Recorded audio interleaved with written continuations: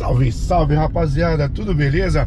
Bom dia, boa tarde, boa noite. Vamos começar esse vídeo um pouquinho diferente, bem cedo ainda, 7 horas da manhã, e vamos dar continuidade na nossa série Escapamento Esportivo no Brasil.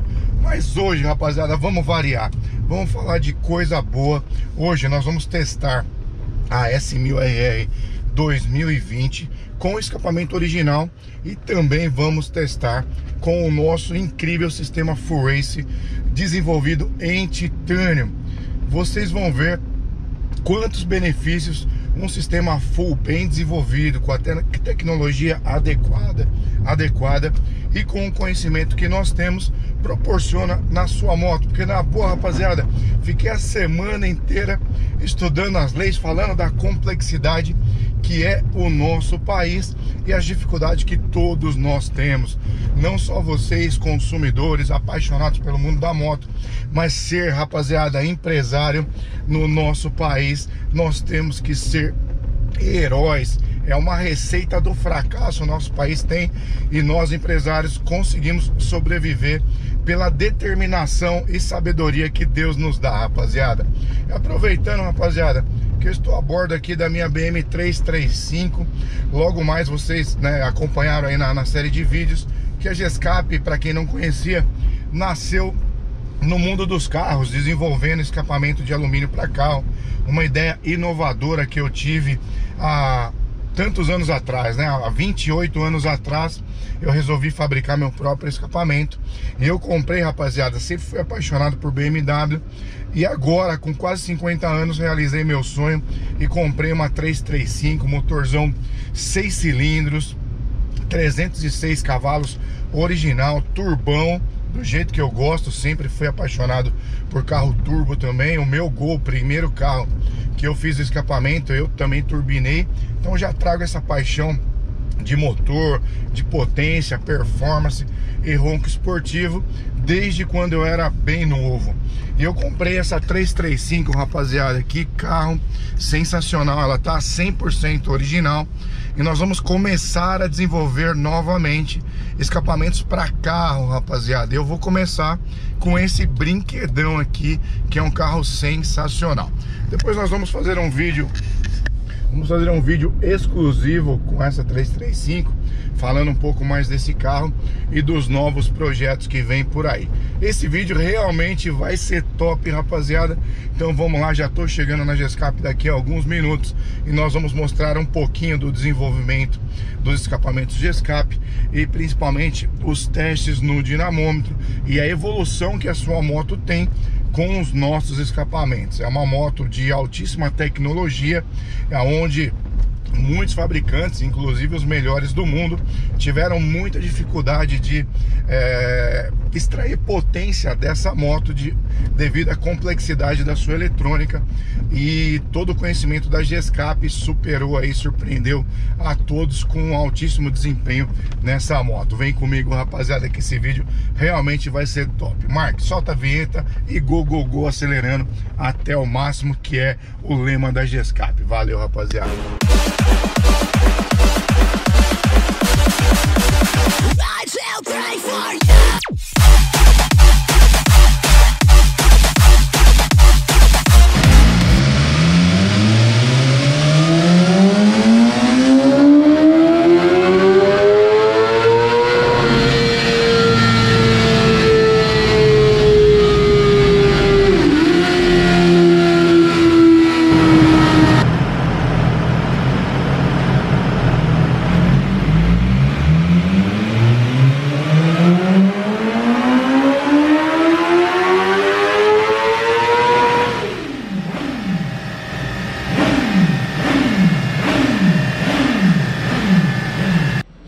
Já estou aqui na nossa sala de dinamômetro.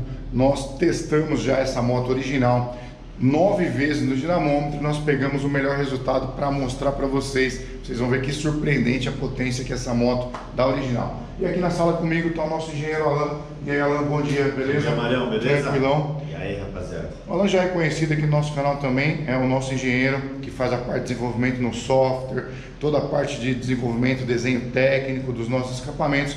O Alan é o responsável aqui na Gescap. Dá uma olhada que incrível no desempenho dessa moto. Aqui está todas as informações que nós extraímos do nosso dinamômetro, que é a potência na roda, a potência no motor, a, a, o torque que essa moto tem e também nós analisamos uma coisa muito importante que é a mistura ar combustível. Vamos ver, vamos ver quantos cavalos essa moto deu 100% original. Deixa eu já puxar os números aqui e depois nós vamos analisar o gráfico dela.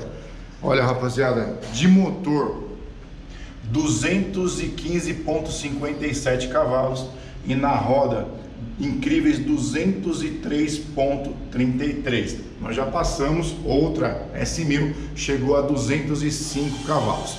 A sonda lambda dela original é praticamente perfeita, deu aqui 0.89 e o ideal na mistura é 0.90 e você vê que ela é bem linear na sua mistura. A eletrônica dessa moto é muito incrível.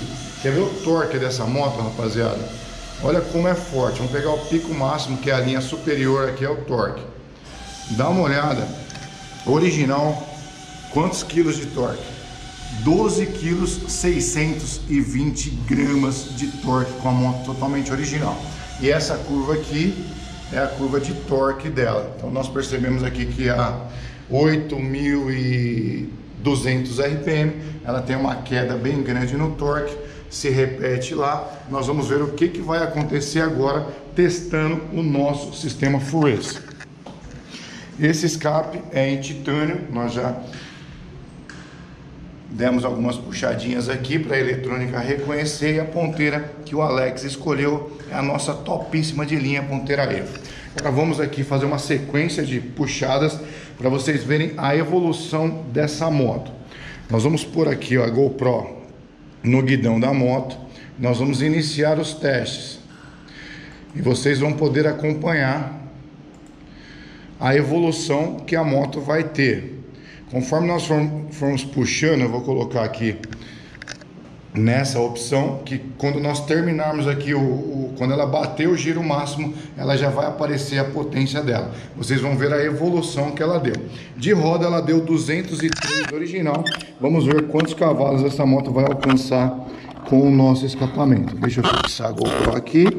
Eu vou aquecer a moto e quando começar o teste eu dou play aqui. Beleza rapaziada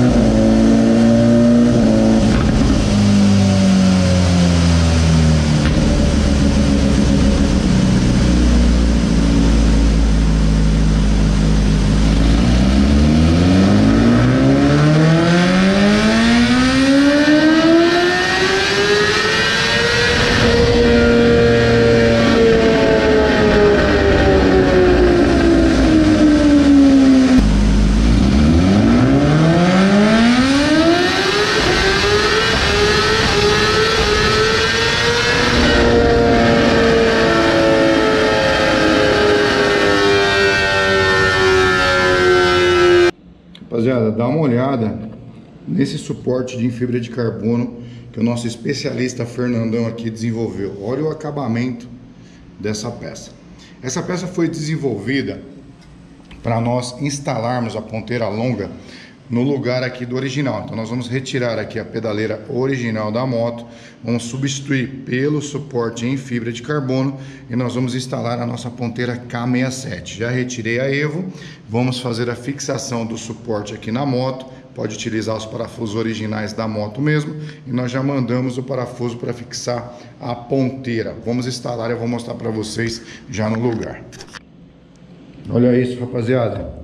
Ponteira K67 instalada. Olha a perfeição do suporte em carbono que o Fernandão desenvolveu aqui.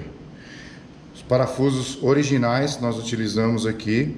Aqui nós já mandamos esse parafuso para você fixar a abraçadeira da K7 no suporte. Olha que acabamento impecável de todas as partes do escapamento. Agora, bora para cima, descer do elevador dinamômetro de novo e vamos ver se vai ter alguma diferença no gráfico de potência com a ponteira longa.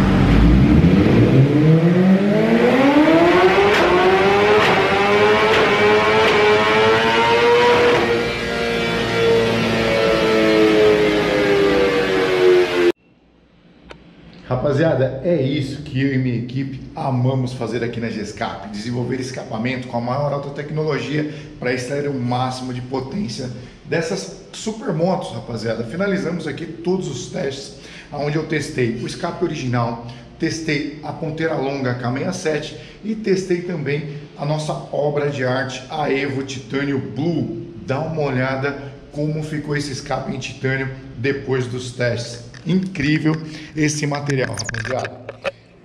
Ele é leve como o alumínio e tem a resistência maior que o aço. Dá uma olhada nisso. Olha a cor desse escapamento. Olha.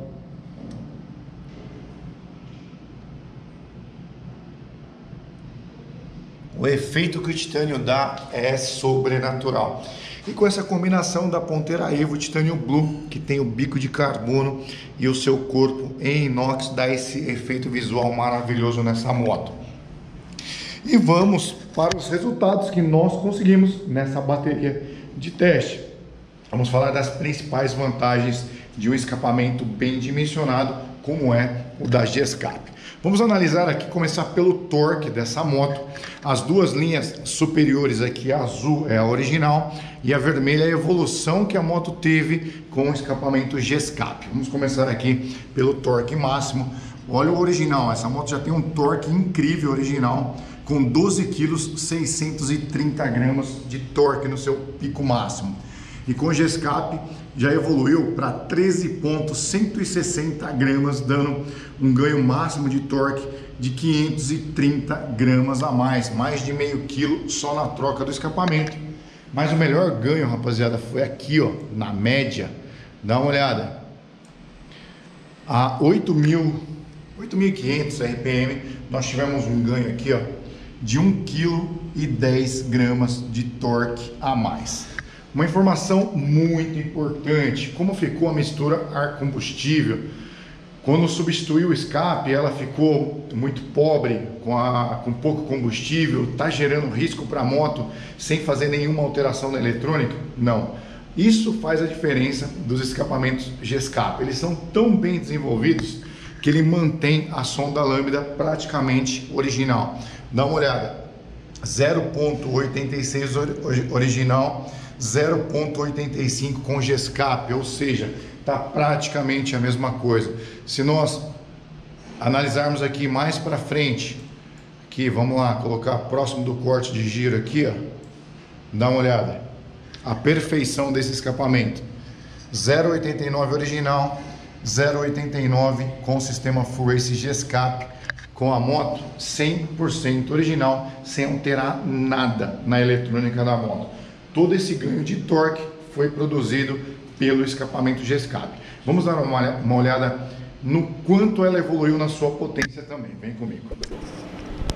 Agora nós vamos analisar aqui quantos cavalos o nosso sistema Full Race rendeu na S1000RR, uma moto que já vem muito forte já de fábrica, essa que nós testamos aqui, deu 203.33 original. E olha como o nosso escape evoluiu para 209.74, já dando um ganho aqui de 6.41 cavalos na máxima. Nessa moto é um ganho extraordinário. Muitas marcas importadas não conseguiu esse ganho que nós conseguimos aqui.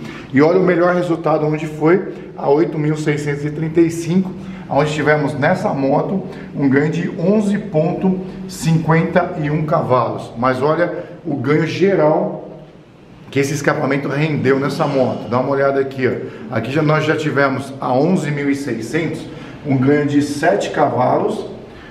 Lá em cima, nós já vimos aqui que deu 6 cavalos e meio e dá uma olhada mais próximo do corte de giro. 8.37 cavalos, ou seja, a moto evoluiu em tudo. Ganhou torque, ganhou potência, redução de peso e ficou mais rápido na sua aceleração. Marão da Gescape, super top seu escapamento. Ganhou potência, ganhou torque, reduziu 6,5 kg, legal. E aí? E o ruído da moto, como é que tá? Se eu for abordado, a moto já está lá fora, vamos fazer o teste com o DB Killer e sem o DB Killer e vamos tirar a prova de uma ponteira curta. Será que o escapamento G-Escape está dentro da lei ou não? Vem comigo. A monstrona já está ali posicionada para o teste de fogo. Olha outro monstrão aqui, 6335, 306 cavalos original, turbão. Logo, logo tem G-Escapão para ela, hein, rapaziada. Chegou a hora da verdade, rapaziada. Sistema Full Race, vocês já viram que aumentou potência, aumentou torque, design nem se fala e um ronco sensacional desse escapamento. Mas e aí, Marião? Será que tá aqui, ó, dentro do nível de ruído permitido pela 2 pela 252, que é de 99 decibéis? Ponteira curta, dois testes com DB Killer e sem DB Killer. Vamos para a hora da verdade? Vem comigo. Vamos iniciar o teste testando com o DB Killer, que o próprio nome já fala, é um assassino de decibéis, um assassino de ruídos.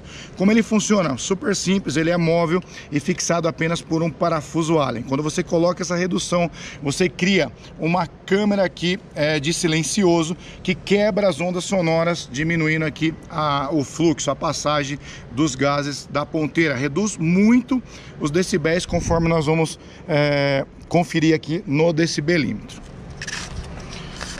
Padrão de teste, exatamente como manda a norma NBR 9714, que é muito utilizada para homologação de veículo. Vão ser feitos três testes e tirado a média. É assim que tem que ser feito, beleza, rapaziada? Então vamos lá, essa moto para ser homologada é testada a 3.000 RPM. Vamos fazer teste 1, 2 e 3 e vamos ver, conferir o nível de ruído com o Killer. Desligando aqui. Já aqui, ó. Modo rápido de, de captação. É, frequência alternada. Vamos colocar aqui o nível correto de 80 a 110 e vamos colocar na máxima aqui para fazer a primeira medição consecutivamente três vezes. Funcionando a monstro com gescapão full.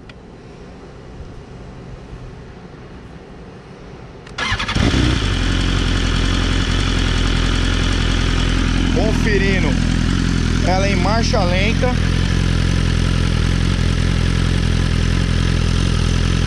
Vamos iniciar o teste 1.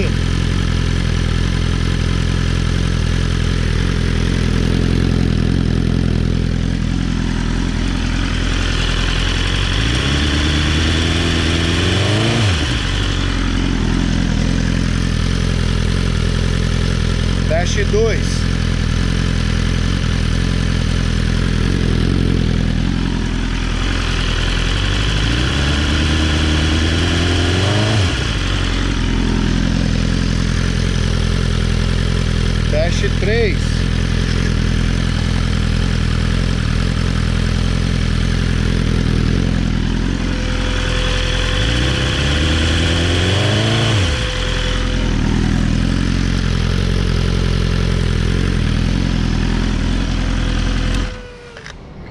Rapaziada, foram três testes como a norma recomenda e vocês viram que não passou de 93 decibéis. Se você fazer uma média, vai dar 92 decibéis totalmente dentro da lei. Marão, e agora, sem DB Killer, se eu for pego sem DB Killer com a sua ponteira curta, será que vai estourar o nível de ruído? Vamos ver. E aí, rapaziada, agora, bocão aberto, sem o DB Killer, Será que ele vai manter o nível de ruído dentro da lei? Vamos lá, mesma regulagem, feche a... Vamos colocar o nível correto aqui, de 80 a 110. Três medições da mesma forma, beleza? Funcionando a moto.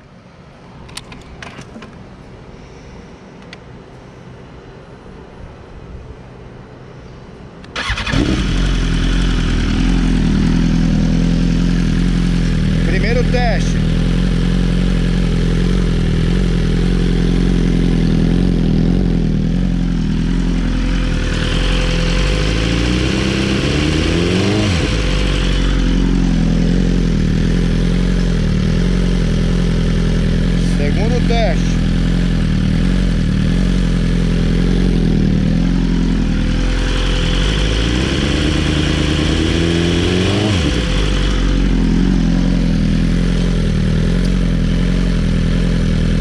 teste agora, rapaziada. Vacilei.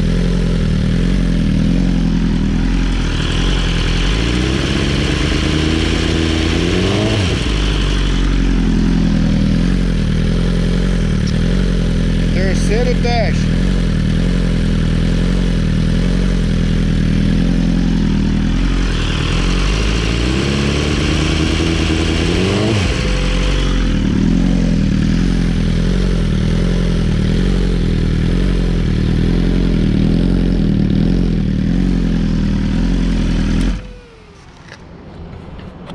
Rapaziada, 99 decibéis exatamente em cima da risca, ou seja, não passou o nível de ruído. Tem que fazer sempre três provas e tirar a média das três. Com DB Killer, 92 decibéis. Sem DB Killer, na ponta, uma das ponteiras mais curtas da Gescap, 99, totalmente dentro da lei. Se você for abordado numa blitz policial e algum agente de trânsito questionar o ruído do seu escapamento, ele só pode te autuar. Lembrando que a resolução 252 permite sim você substituir o escapamento original, parcial ou total do seu veículo, não só moto, mas carro também, desde que ele mantenha o nível de ruído dentro da lei como nós conferimos aqui, para ele te autuar, para ele te multar, ele é obrigado, obrigado a ter um decibelímetro. Se não tiver, ele está cometendo uma injustiça, um abuso de poder com você.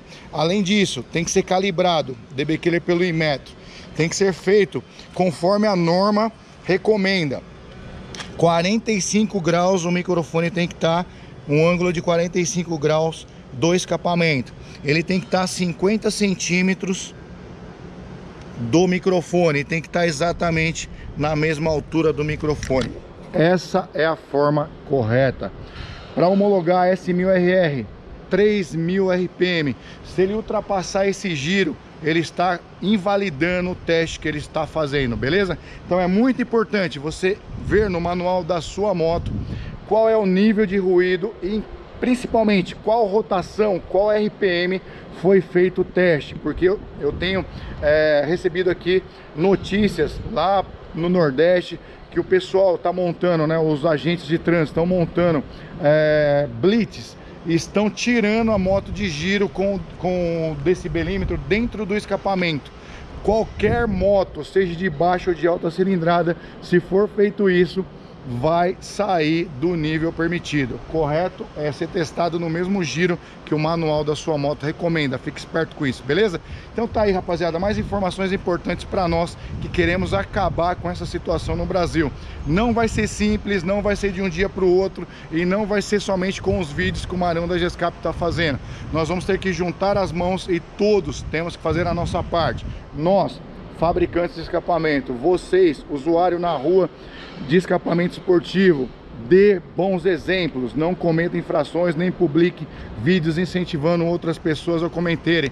E todos os órgãos públicos, fiscalizadores e agentes, não prejudique cidadãos de bem, aplique é, a lei de forma justa, de forma correta, para isso que vocês são contratados e para isso que vocês são pagos com os nossos impostos, gerado pelo usuário, pelo cliente final, pelas indústrias e por todo mundo que paga imposto, que não é pouco no nosso país.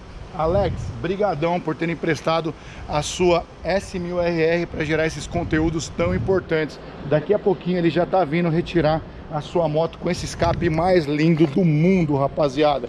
Olha, mais uma olhadinha aí. Sensacional esse escapamento.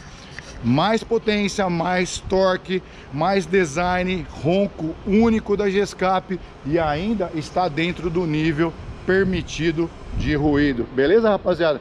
Tamo junto, espero que você tenha gostado desse vídeo. Se gostou, já deixa aí o seu like, faça o seu comentário, Compartilhe esse conteúdo com todos. Um abraço, até os próximos vídeos.